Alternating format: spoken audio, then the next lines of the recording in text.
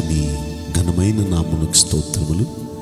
ఈ వాగ్దానం వింటున్న మీకందరికీ మన ప్రభువును ప్రియ రక్షకుడైన యేసుక్రీస్తు నామములో శుభములు. మా హృదయపూర్వకమైన వందనములు తెలియచేస్తున్నాం. ఈరోజు దేవుని వాగ్దానం. రెండవ దినవృత్తాంతముల గ్రంథం ఇరవయవ అధ్యాయము పదిహేనవ వచనం. మీరు భయపడకుడి జడియకుడి. ఈ యుద్ధము మీరు కాదు దేవుడే జరిగించును.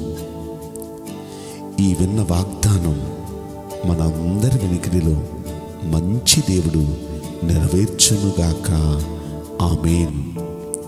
ప్రియ దైవ జనాంగమా ఈ వాగ్దానం ఎవరు ఎవరితో చెప్తున్నారంటే దేవుడని యహోవా రాజైన యహోషపాతుకు ఆయన చెప్తున్నారు ఈ మాట. రాజైన యహోషపాతికి ఈ మాట ఆయన చెప్పడానికి గల కారణం ఏంటి? కొన్ని కారణాలు మీకు చెప్తాను నేను. యహోషపాతుకు ఆ రోజు భయంకరమైన సమస్య వచ్చింది. ఆ సమస్య ఏంటంటే నలువైపులా శత్రువులు చుట్టుముట్టారు. ఇక నలువైపులా శత్రువులు చుట్టుముట్టారు. ఏం చేయాలో దిక్కుతోచని పరిస్థితి. మనస్సు పరిపరి విధాలుగా వెళ్ళిపోతుంది. వాళ్ళ దగ్గరికి వెళ్ళి వాళ్ళతో సపోర్ట్ తీసుకుందామా? ఈ రాజు దగ్గరికి వెళ్ళి ఈ రాజుతో సపోర్ట్ తీసుకుందామా? ఆ రాజు దగ్గరికి వెళ్ళి ఆ రాజు దగ్గర సపోర్ట్ తీసుకుందామా? ఇక ఈ విధంగా వెళదామా? ఆ విధంగా వెళదామా? ఇక రకరకాల పిచ్చి పిచ్చి ఆలోచనలు. ఇలాంటి ఆలోచనలన్నీ వస్తున్న సమయంలో ఈయన చేసిన పని ఏంటంటే దేవుని మందిరానికి వెళ్ళిపోదాం.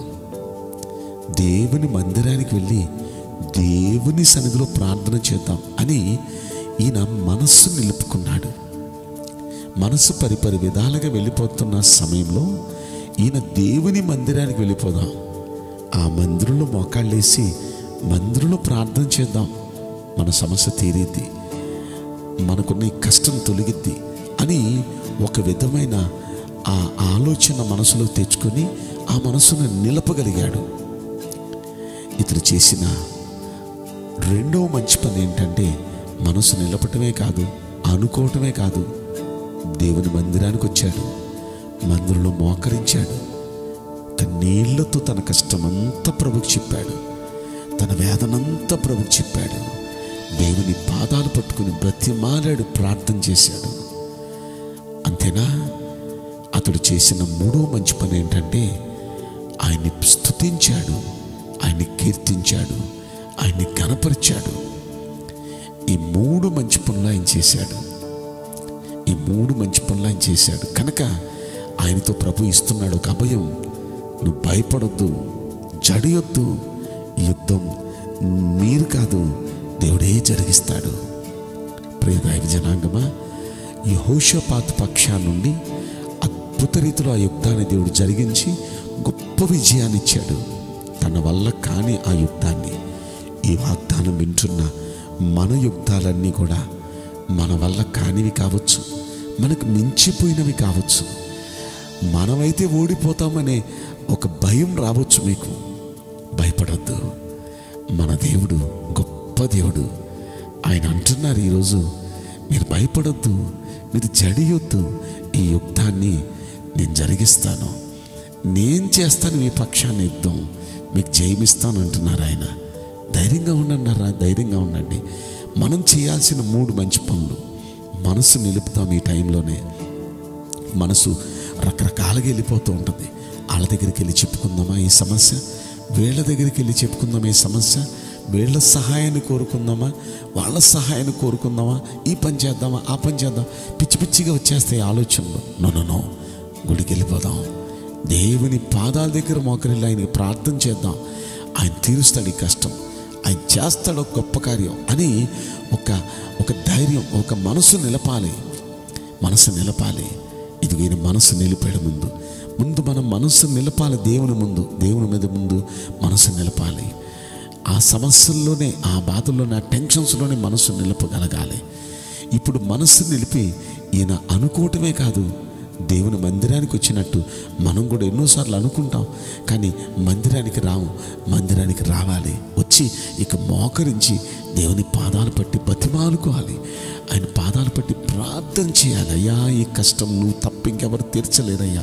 నువ్వు తప్ప ఈ పరిస్థితులు ఎవరు మార్చలేరయ్యా. నువ్వు తప్ప ఈ రోగం ఎవరు తగ్గించలేరయ్యా. నువ్వు తప్ప వేరే దిక్కు నాకు లేదయ్యా అని దేవుని పాదాలు పట్టి మనం వేడుకోవాలి. అలా ఆయన బతిమాలుకోవాలి. ఆయన పాదాలు పట్టి వేడుకొని ఆయన్ని మనం ప్రార్థించాలి. అలా ప్రార్థించే మనసు ఉండాలి మనకి. ఇక రెండవ మూడవది ఆయన్ని స్థుతించాలి ఆయన కీర్తించాలి ఆయన్ని గణపరచాలి. ఆయన అలా స్థుతిస్తూ ఉంటే ఆయన ఆనందపడతాడు పరవశిస్తాడు మన కోసం దిగొస్తాడు మన యుద్ధాన్ని ఆయనే చేస్తాడు. ఎందుకంటే దేవుడు మనల్ని ఇష్టపడి మన కోసం దిగి రావాలంటే స్థుతించి కీర్తించే మనసు. అంటే స్థుతించడం కీర్తించడం అంటే ఆయన్ని పొగుడుతున్నాం అన్నమాట. ఆయన రావటానికి మార్గం సిద్ధం చేస్తున్నాం అన్నమాట. కనుక అలా ఆయన దిగి వచ్చి మనల్ని రక్షించినట్లుగా మార్గం సిద్ధం చేస్తున్నాం. ఎక్కడుందంటే యాభయో కీర్తనలో ఇరవై మూడో వచనంలో అక్కడ అంటాడు స్థుతి యాగం అర్పించువాడు నన్ను మహిమపరుచున్నాడు. నేను వాణ్ణి రక్షించినట్లు వాడు మార్గం సిద్ధపరచుకొనేను అని. నిజంగా స్థుతి యాగం చేయాలి స్థుతించాలి కీర్తించాలి. దేవుడు దిగొస్తాడు మన పక్షాన యుద్ధం చేస్తాడు. మనకు గొప్ప విజయం ఇస్తాడు. కనుక ఈ సమస్యను చూచి ఈ కష్టాలను చూచి ఈ వ్యాధిని చూచి దేని చూసి భయపడొద్దు జడియొద్దు. మన దేవుడు మనకు అభయమిస్తున్నాడు ఈ యుద్ధం నేను చేస్తాను. మీరు ధైర్యంగా ఉండండి అని. కనుక మనం ఈ మూడు పనులు చేద్దాం. మన దేవుడు మన పక్షాన యుద్ధం చేయబోతున్నారు. నేను మీకోసం ప్రార్థన చేయబోతున్నాను. పరిశుద్ధుడా రాజా మీ పరిశుద్ధ బంగారు పవిత్రమైన నామ్మునకు నిండు మనసుతో కోట్ల కొలదిగా స్థుతులు స్తోత్రములు వందనాలు చెల్లిస్తున్నాం. ఈ వాగ్దానం వింటున్న ప్రియుల జీవితంలో దయచేసి ఈ వాగ్దానం నెరవేర్చి కృప చూపించండి. ప్రభువా మీరు మా పక్షాన యుద్ధం చేస్తానంటున్నారు. నేను ఎందుకు భయపడాలయ్యా? ప్రతి ఒక్కరు ధైర్యంగా ఉండి అయ్యా మీ మీద నమ్మకం ఉంచుటకు మీరే సహాయం చేయమని. ఈ కొద్ది మనవులు నజరుడైన యేసు క్రీస్తు ప్రశస్తమైన నాములు మిక్కిలి వినయముతో ప్రార్థించి బ్రతిమలాడి వేడుకుంటున్నాం. ప్రియ పరలోకపు తండ్రి amen. Me God bless you all thank you